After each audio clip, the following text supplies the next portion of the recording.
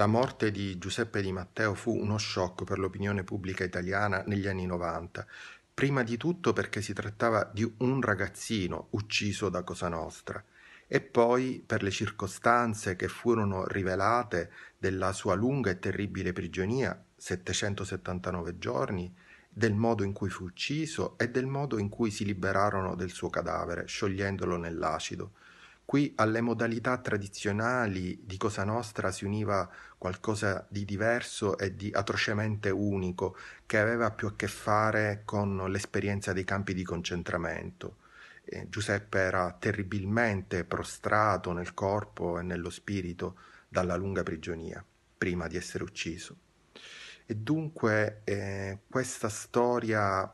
era particolarmente dolorosa e inaccettabile e, ehm, e, fu dopo questa storia che Fabio Grassadonia ed io eh, decidemmo di andarcene dalla Sicilia e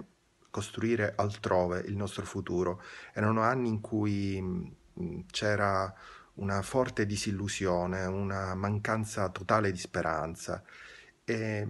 poi mh, nel corso degli anni si è unito un altro dolore, che è quello che la storia di Giuseppe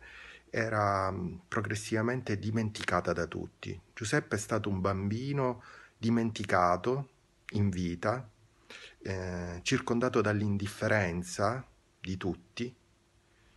e poi eh, dimenticato anche in morte. E la sua storia, a differenza di altre, non era stata raccontata e, ed era dimenticata soprattutto dalle giovani generazioni. Erano in pochi a tenere viva, vivo il suo ricordo, come l'Associazione Libera di San Giuseppe Iato, che gestisce il luogo in cui è stato ucciso Giuseppe e che ora è diventato oh, una sorta di museo memoriale a lui dedicato, chiamato il Giardino della Memoria.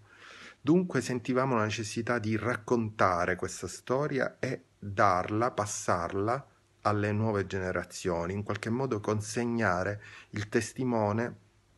della memoria di Giuseppe eh, a qualcuno che non aveva neanche conosciuto questa storia ed è proprio il fatto che grazie alle proiezioni scolastiche eh, il film Sicilian Ghost Story sia stato scoperto dai ragazzi delle scuole, dagli studenti, che è stato per noi motivo di grande gioia e soddisfazione.